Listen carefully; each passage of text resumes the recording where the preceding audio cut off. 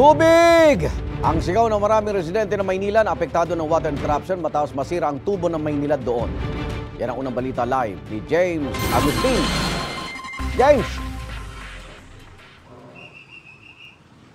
Gang, good morning. Buong magdamag hanggang sa mga oras na ito'y puspusan yung pagkukumpuni na sinasagawa ng Maynila doon sa pipeline nila na aksidenteng natamaan ng backhoe ng third, ng third party contractor ng MMDA kahapon na gumagawa naman ng drainage sa bahaging ito ng Delpan Street sa lungsod ng Maynila. Simula pa kagabi, libu-libong customers ng Maynila ang nawala ng supply ng tubig hindi lamang dito sa lungsod ng Maynila Igan, maging sa southern part ng Metro Manila at Cavite.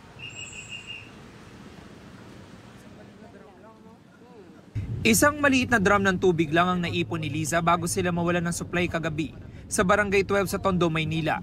May pasok pa man din sa eskwelahan ng kanyang anak. Mahirap talaga kasi unang-una wala naman kami sariling tubig tapos yan lang eh, ang paligo, lahat pambuhos sa CR, pang ano, lahat nandyan kinukuha.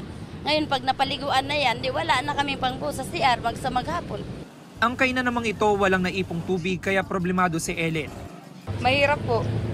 Kasi wala pong hugas po ng mga hugasin po ng mga nagagamit po namin. Kagabi pa rin walang supply ng tubig ang bar and restaurant na ito sa barangay 275 sa Binondo. May ipon man sila sa water tank ay limitado lang ito, lalo pat 24 oras bukas ang establishmento. Napakahirap pag wala talagang supply ng water kasi yan yung main natin na uh, resources especially sa ganitong establishment. In and out go wing yung mga customer, especially flatwares, glassware. So kailangan ma-replenish natin from time to time. Libo-libong customers ng Maynila ang nawala ng supply ng tubig simula alas 10 kagabi sa lungsod ng Maynila. Marami ring apektado sa Cavite, gaya sa Bacoor, Imus, Cavite City, Kawit, Noveleta at Rosario.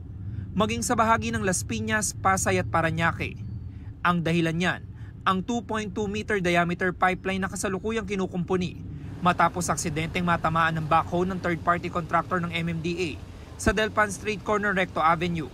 Alas 13.30 ng hapon kahapon daw nangyari ang insidente.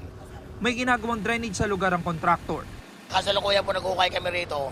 Ah, medyo matigas po na kaya nagpalit po kami ng breaker. Ngayon po, pag break ko po, yun na po, tinamaan namin yung mga tatlong break, tinamaan po namin yung nawasa. Nasa kasalukuyan po, hindi naman namin alam na may linya po sa lugar na yun. Ang natamaang pipeline na nagdadala ng tubig mula sa treatment plant ng Maynilad sa Quezon City, papunta sa mga customers nito sa South. Puspusan ang pagkukumpuni ng mga tauhan ng Maynilad. Sa abiso, tatagal pa mamayang alas 10 ng gabi ang water service interruption. Gagawa na lang siguro ng para hati-hatiin yung tubig namin sa dam. Kunti-kunti sa halip na ano, kunti-kunti na lang para kahit paano mapagkasya hanggang hap gabi. Maghihintay na lang po kami ng rasyon. Sabi daw po kasi may rasyon daw po na dadating. Mga plastic na lang i-offer natin instead para uh, disposable na mga mga materials para at least hindi naman kun maging konsumo ng tubig natin. Kasi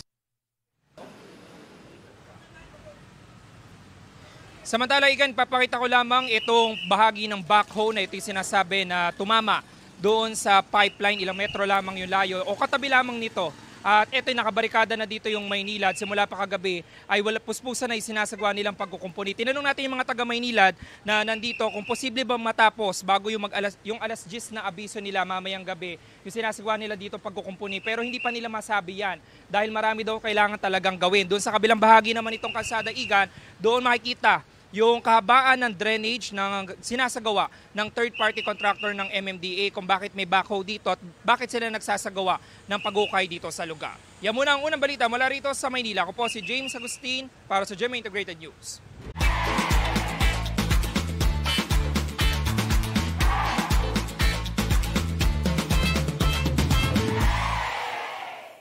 Igan, mauna ka sa mga balita. Mag-subscribe sa GMA Integrated News sa YouTube. Sa mga kapuso abroad, subaybayan nyo kami sa GMA Pinoy TV at sa www.gmanews.tv.